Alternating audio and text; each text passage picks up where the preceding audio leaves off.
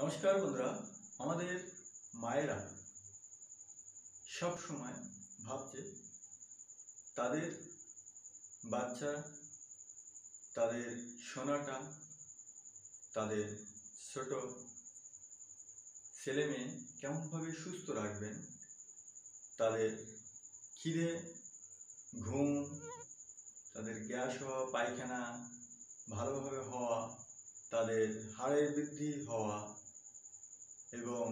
তাদের পেশি সুন্দরভাবে গঠিত হওয়া এইসব সমস্যা নিয়ে চিন্তা করেছেন। ভাবছেন কীভাবে আপনারা আপনাদের বাচ্চাদেরকে সুস্থ রাখবেন এবং আরও সুন্দরভাবে সুগঠিত শরীর তৈরি করতে পারবেন সেটা নিয়ে চিন্তিত। ভাববেন না, আমি আজ এই ভিডিওতে আপনাদেরকে এই সমস্যা কীভাবে দূর করা যেতে পারে সেটা সব আলোচনা করব। এবং এই সিরাপটা কি কি দিয়ে তৈরি, কি কি সমস্যা দূর করতে সক্ষম এবং এটা খাওয়ার নিয়ম কি, এটা সব কিছু এই ভিডিওতে আলোচনা করব। তা আপনারা এই ভিডিওটা স্কিপ না করে প্রথম থেকে শেষ পর্যন্ত দেখতে থাকুন, তাহলে ভিডিওটা ভালোভাবে বুঝতে পারবেন এবং এর গুণাগুণ খাওয়ার নিয়ম খুব ভালোভাবে বুঝে আপনারা, আপনাদের শিশুদের ভালোভাবে দিতে পারবেন।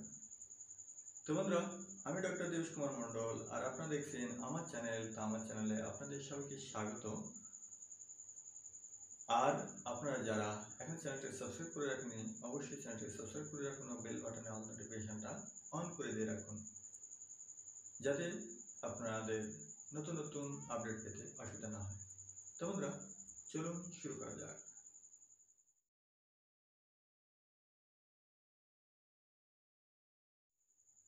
বন্ধুরা এই সিরাপটার নাম হচ্ছে বেবি ফ্লেক্স এই সিরাপ বাচ্চাদের ক্ষেত্রে খুব কাজের তো এই সিরাপটার কম্পোজিশনটা কি?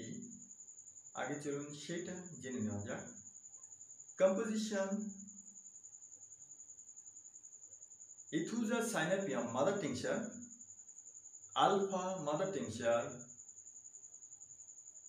andrographis paniculata mother tincture, Avena sativa mother tincture, chamomilla mother tincture, Chelidonium majus mother tincture, glycerin syrup এবং ক্যারামেল দেওয়া আছে লিকুইড গ্লুকোজ দেওয়া আছে মিষ্টি বানানোর জন্য পিউরিফাইড ওয়াটার দেওয়া আছে এগুলো আর কিছুটা পরিমাণ অ্যালকোহল দেওয়া থাকে যাতে এই সিরাপটা ভালো থাকে তার জন্য তো এই সিরাপটা খেলে কিন্তু বাচ্চার গ্রোথ এবং ইউনিটি পাওয়ার বাড়বে।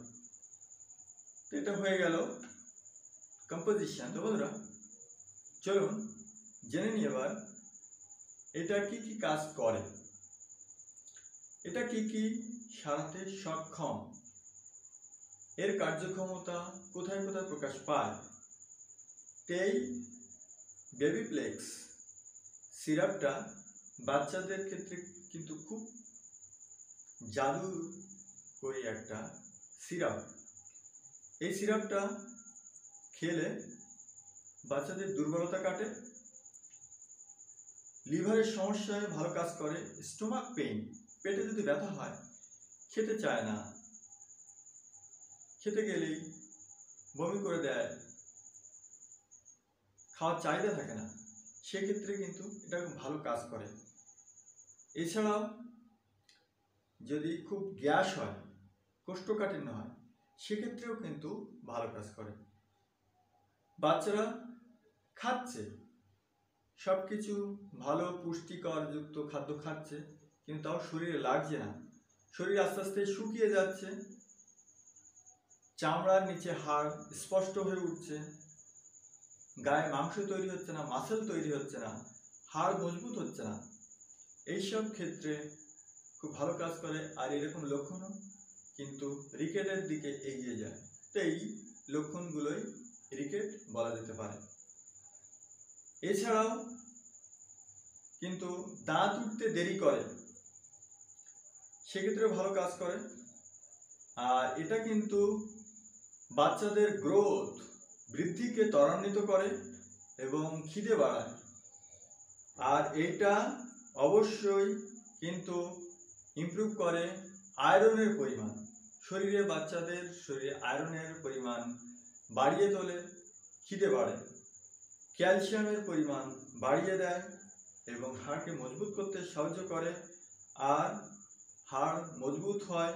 এছাড়াও সাথে তাদের মাসেল বা পেশিগুলো আস্তে আস্তে ভালো সুগঠিত হয় এবং তাদের মাসেল বা পেশিগুলি সুগঠিত হওয়ার জন্য তাদের চেহারাও সুন্দর হয়ে ওঠে। তো বন্ধুরা, এই হচ্ছে এর বিভিন্ন গুণের কথা। এইটা এত কিছু সমস্যার সমাধান করতে পারে। এবারে ডোজ বা এর খাওয়ার নিয়ম কি সেইটা চলুন জেনে নিই।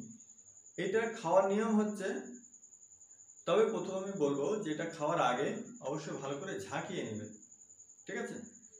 তা দেখাই, এইটা খুলে দেখুন।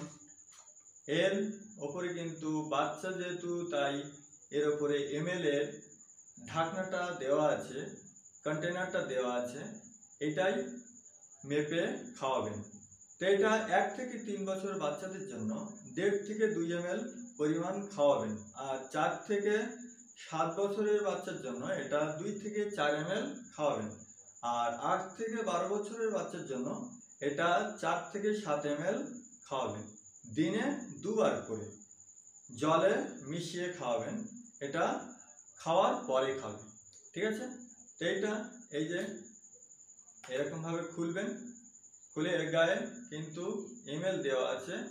আড়াই এমএল পাঁচ এমএল দশ এমএল এরকমভাবে এমএল করা আছে এরকমভাবে আপনারা আপনাদের বাচ্চাদের দেবেন। অবশ্যই বাচ্চাদের স্বাস্থ্য সুন্দর হবে সুগঠিত হবে এবং তাদের আরও সুন্দর চেহারার অধিকারী হবে এবং তাদের সুন্দর স্বাস্থ্যেরও অধিকারী হবে। তো বন্ধুরা, এই ভিডিওটা যদি ভালো লেগে থাকে, তাহলে অবশ্যই একটা লাইক করো আর ভিডিওটা শেয়ার করো। আর কমেন্ট করে জানাতে পারো আমাকে কি কি ভিডিও আপনারা দেখতে চান এবং কোন সমস্যা দূরীকরণের জন্য ওষুধ জিজ্ঞেস করতে চান সেটা আমাকে কমেন্ট করে জানান। আমি সেই রকম ভিডিও আপনাদেরকে বানিয়ে দেব। তো বন্ধুরা, আজ এতটুকু দেখা হচ্ছে। পরের ভিডিওতে অন্য কোনো নতুন টপিক বা নতুন একটা ওষুধ নিয়ে আপনাদের সঙ্গে আবার আলোচনা করব। ততদিনে আপনারা ভালো থাকবেন, সুস্থ থাকবেন এবং আপনারা আপনাদের বাচ্চাদেরকে সুরক্ষিত রাখুন এবং সাবধানে রাখুন। দেখা হচ্ছে পরের ভিডিওতে। জয় হিন্দ।